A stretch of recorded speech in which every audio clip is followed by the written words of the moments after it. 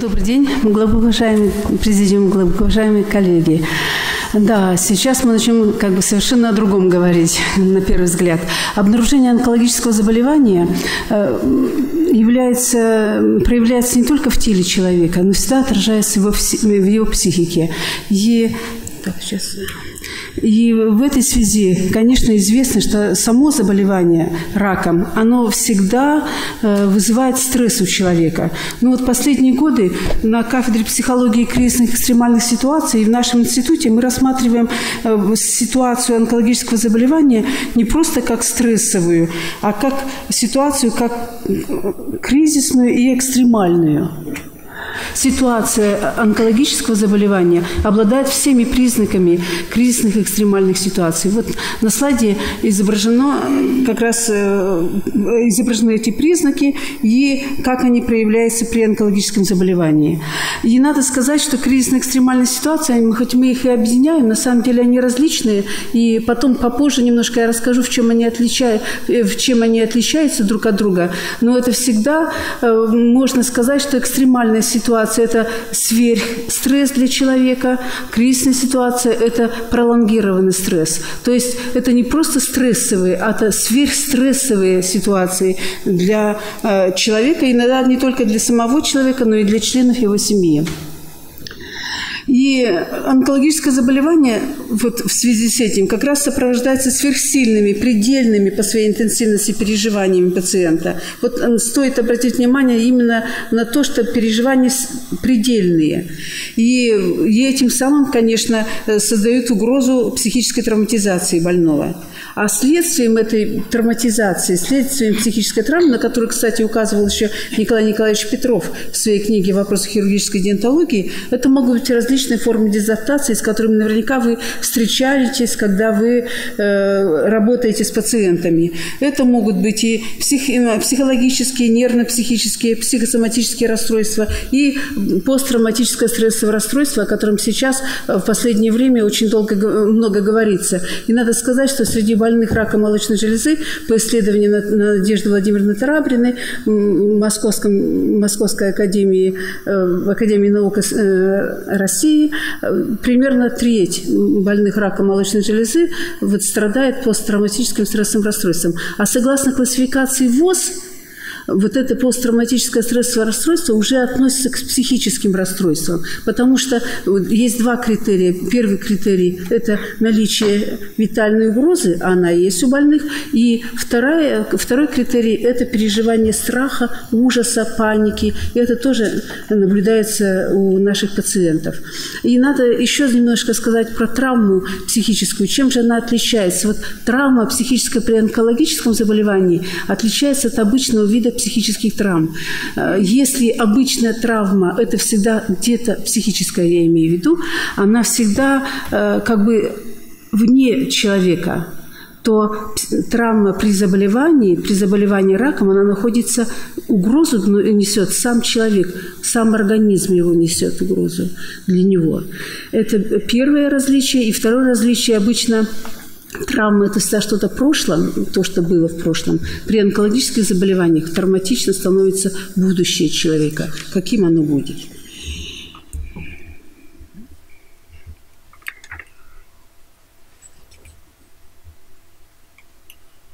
Больные раком молочной железы испытывают двойную психическую травму – во-первых, возникновение витальной угрозы и крушение жизненных планов в связи с болезнью. И второе – страх утраты женственности вследствие количества операций. И вот э, возможности количества операций. И это очень важно э, при учете, при работе с пациентами. Вот как больные э, отзываются о том, что с ними происходит, как они говорят о своем состоянии. Э, здесь больные от 28 до 53 лет э, разные больные. Каждое утро просыпаюсь, и первая мысль у меня рак. Ни с кем не хотелось общаться. Э, другая больная. Это было как открытая душевная рана, которая болела и ныла. Еще одно высказывание. Так тяжело, как будто, как будто у меня не в груди опухоль, а в душе опухоль есть. следующая больная, для меня это был, было ударом, еще и потому, что от меня здесь ничего не зависит. Просто, просто руки опустились, когда я это поняла. Больна, еще одна больная. Болезнь изуродовала мое тело и душу. Ничего не могу с собой делать. До боли, до болезни была совсем другой. И еще позвольте проиллюстрировать именно э, как больные переживают э, нарушение образа своего телесного «я», как они взаимодействуют с телом. Больная О. Я иногда просыпаюсь ночью и плачу, прошу у тела прощения за то, что не замечала раньше, не обращала внимания, все думала, что само пройдет. Э, следующая больная. Мое тело стало для меня чужим. Это не мое. Мое тело здоровое, красивое, а это, это чужое. И вот больная Д, 28 лет ей. Мне кажется, что мое тело умерло. Сразу умерло, как только узнала о диагнозе. Я живу своими эмоциями, чувствами, но теперь не понимаю, что происходит. Я очень эмоциональный человек. Но чувства, они во мне, в моей душе, а не в моем теле. Мне кажется, я ненавижу свое тело за то, что оно преподнесло мне такой сюрприз. Очень часто больные переживают именно состояние, что их тело их предало. И вот в этой связи возникает такая мысль. А, сейчас немножко назад еще вернусь. Возникает такая мысль. Каков смысл лечения, если пациенты так себя чувствуют? Для чего мы их лечим? Не так давно была пациентка, которая буквально с порога заявила, я себя потеряла, я хожу как мертвая. Это у нее, у нее был шестой, ей 63 года, шестой курс химиотерапии, после мастектомии она. И возникает э, вопрос, мы знаем, что, вернее, даже не вопрос, э, мы знаем, что психологическая смерть часто предшествует физической смерти. И если пациенты себя так чувствуют, то каков смысл в их лечении? И э, сразу возникает необходимость того, что больным нужно как-то в, этих, в этой ситуации помогать.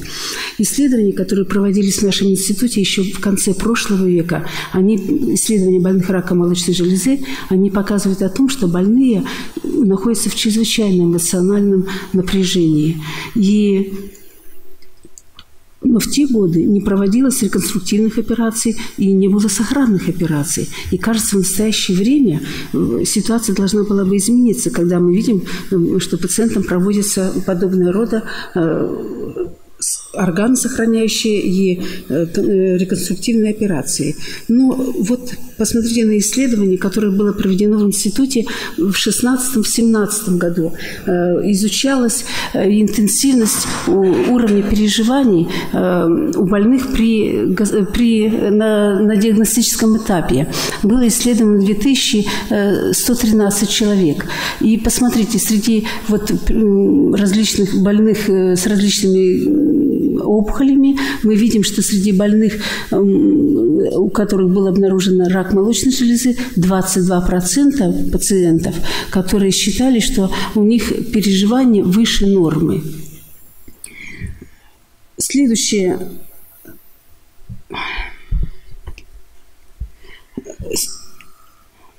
простите, следующее, то, то же самое исследование, когда больные были на диагностическом этапе, заполняли э, шкалу переживаний, и мы тоже видим, что... А, это то же самое, да? Угу. Сейчас. Ой, я не вижу здесь. Так. Давайте так, переключать. Нет, все, все, давайте нормально. Э, и вот при поступлении в стационар было исследовано 2000 человек. И обратите внимание, что как раз на отделении опухолей, те, которые поступали на отделение опухолей молочной железы, тоже 21% переживания были выше нормы. То есть, посмотрите, получается так, что несмотря на то, что проводятся реконструктивные операции, органосохранные операции, однако сила переживаний э, больных раком молочной железы очень очень велика.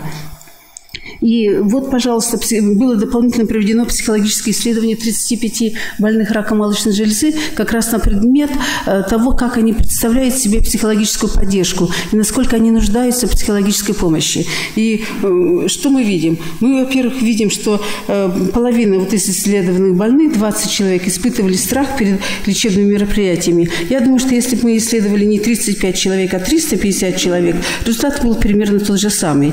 То есть больные больные боятся всех лечебных мероприятий, которые э, вот, происходят с ними. Далее, э, обратите внимание на последний пункт. Все больные раком молочной железы нуждаются в психологической поддержке врача. Вот это стопроцентное. Ну, а дальше уже, если говорить о том, как э, в, семье, в семьях не всегда их понимают, и окружающие тоже не всегда э, помогают им так, как в чем больные нуждаются.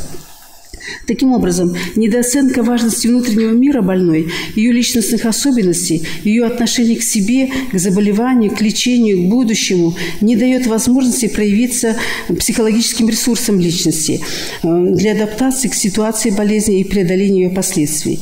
Таким образом, получается, что при увеличивающейся продолжительности жизни больных раком молочной железы отсутствие профессиональной психологической помощи снижает качество их жизни, не позволяет осуществлять целостный подход к лечению и препятствует достижению более полного эффекта лечения. И вот сразу возникает вопрос, а что такое профессиональная психологическая помощь? Является ли профессиональная психологическая помощь только, э, может ли она осуществляться только в лице профессионалов, медицинских психологов или психотерапевтов? Э, мы глубоко убеждены, что профессиональной психологической помощью должен обладать любой специалист, который работает с больными раком молочной железы. И, конечно, в первую очередь, наряду с медицинскими психологами и психотерапевтами, это в первую очередь врач-онколог. Врач-онколог должен э, исходить из профессиональной позиции.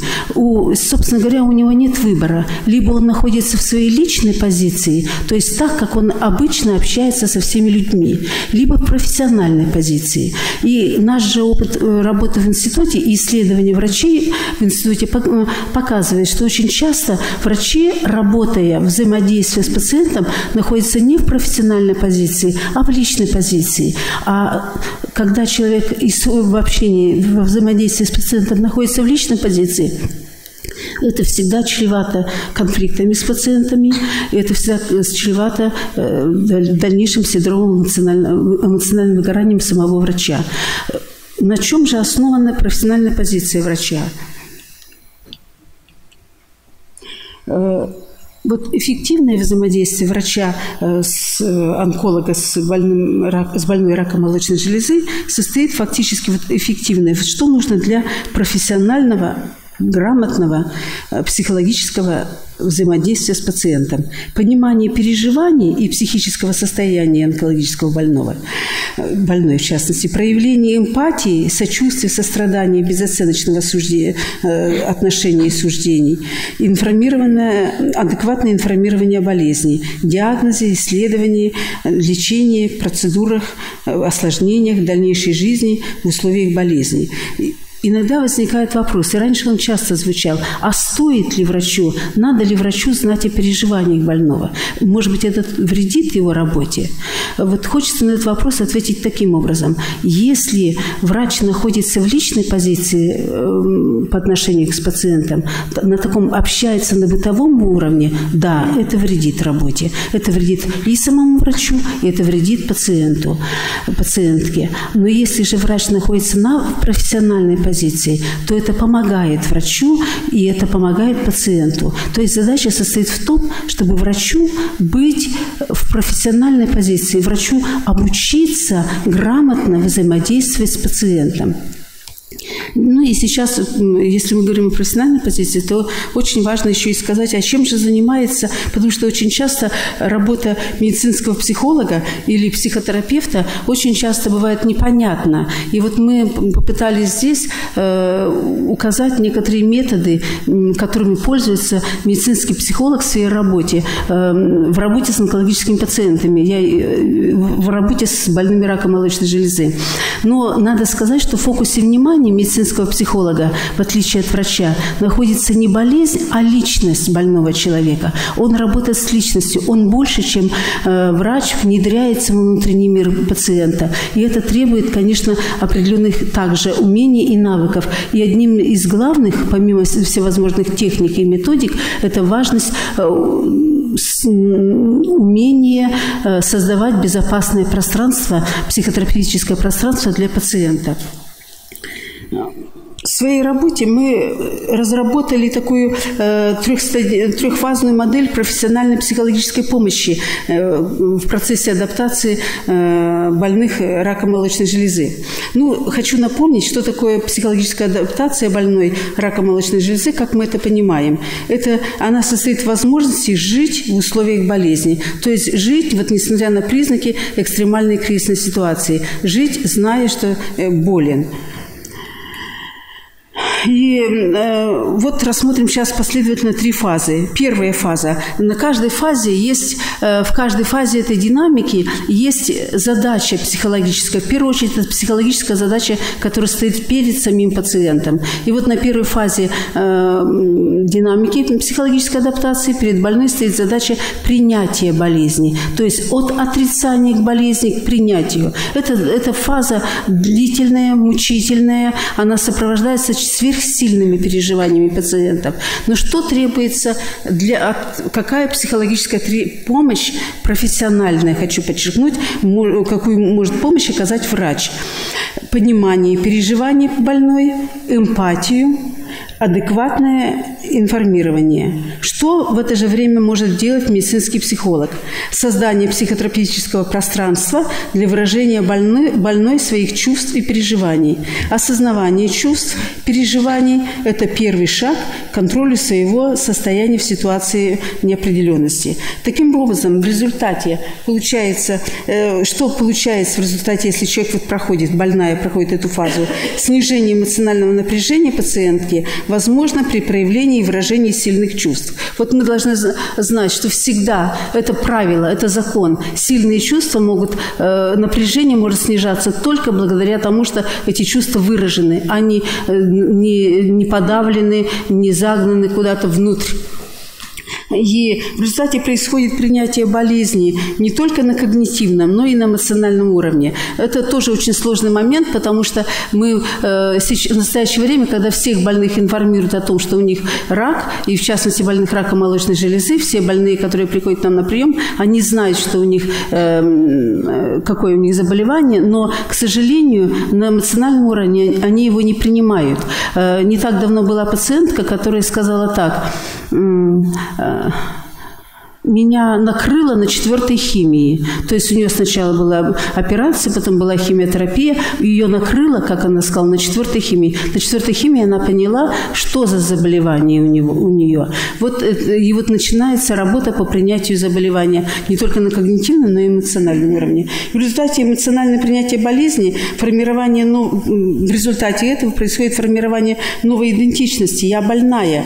И что позволяет пациентке активно и ответственно ответственно лечиться. Только принимая вот эту новую свою идентичность можно активно и ответственно лечиться. Вторая фаза. Опять на этой фазе, как раз задача больной на этой фазе, это, собственно, адаптация к заболеванию. Что может сделать врач? Информирование занимается врач и обсуждение вопросов, связанных с заболеванием и лечением. Четкие и понятные рекомендации, как жить в условиях болезни и лечения. Э, слово «доктор» в переводе с латыни обозначает «учитель». Чему может научить врач больного? А вот врач больного как раз и может научить тому, как правильно жить в условиях болезни. Что можно делать, что нельзя сделать, каким образом вот наиболее качественно прожить в это время. Что делает в это же время медицинский психолог? Э, он опять помогает выражать и обсуждать чувства, э, чувства обращается э, к жизненной истории пациента и к неприработанным, может быть, которые, ситуациям, переживаниям переживаниям, которые были ранее.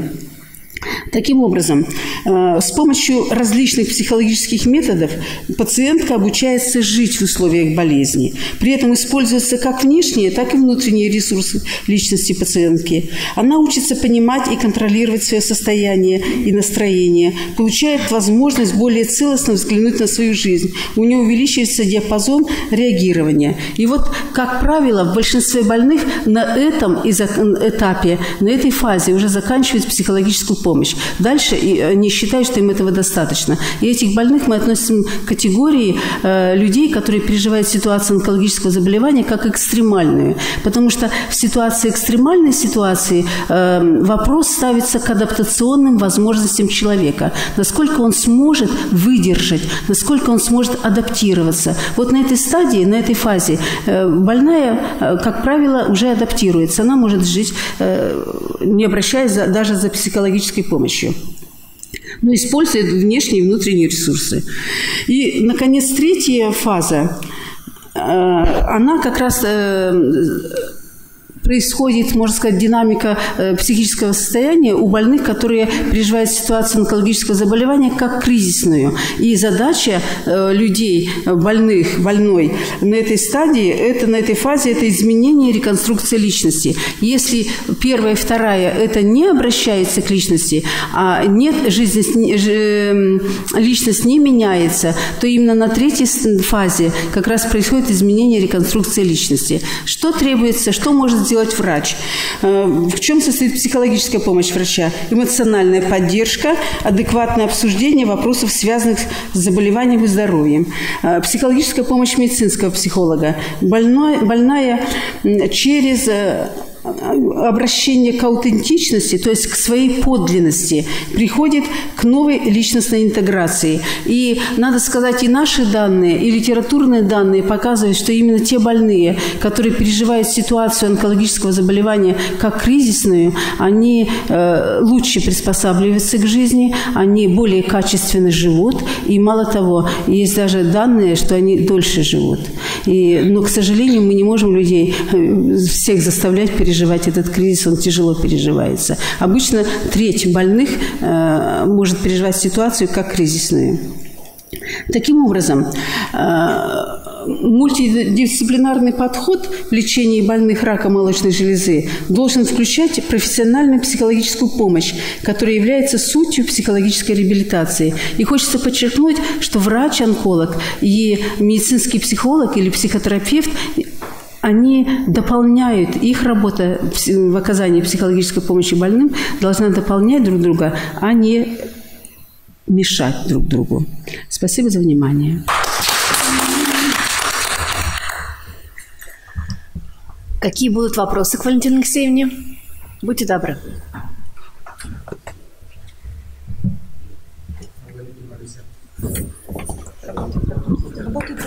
Раз.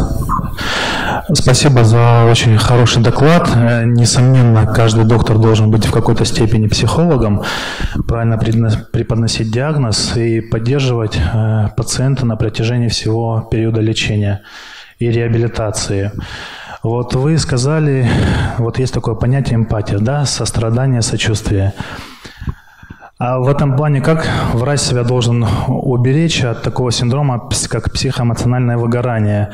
Или врач в какой-то роли должен быть актером в этой ситуации? Ну, честно говоря, мне трудно представить, что значит врач-актер. Он притворяться должен? Нет, ну вот я не могу понять, просто если... А, ну, вот давайте так, вернемся к эмоциональному выгоранию. Первый способ... Э, во-первых, мы должны знать, эмоциональное выгорание нельзя избежать. Это вот это правда жизни, суровая правда жизни. Это стресс, что такое? Это неадекватная реакция на стресс, которая есть в вашей работе. Избежать нельзя. Но что можно сделать? Зная о том, что эмоциональное выгорание существует, можно к нему как бы приспособиться.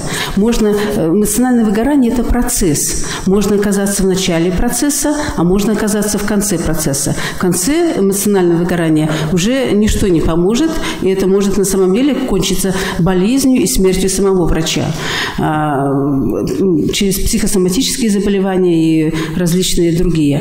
А если врач знает о том, что возможно эмоциональное выгорание в его работе, он начинает уже э, с первых, так сказать, моментов своей работы понимать, что может помочь. Первое – это э, профессионализм. Чем выше профессионализм врача, тем он меньше выгорает. Чем больше интерес у врача к работе, это данные, а тем он меньше выгорает. Далее, очень важно, э, я имею в виду профессионализм, в том числе и во взаимодействии с пациентом. А не только, собственно, медицинский. И еще один момент, очень важный для профилактики эмоционального выгорания, как мы говорим, это осознавать себя, осознавать, кто я, зачем я работаю, чем я занимаюсь, то есть какие трудности у меня возникают. Не забывать об этих трудностях, а именно их осознавать. Осознание, уже там было сказано, первый шаг к контролю над ситуацией. И, конечно, если возникают какие-то проблемы, не бояться обращаться к психологам. Спасибо.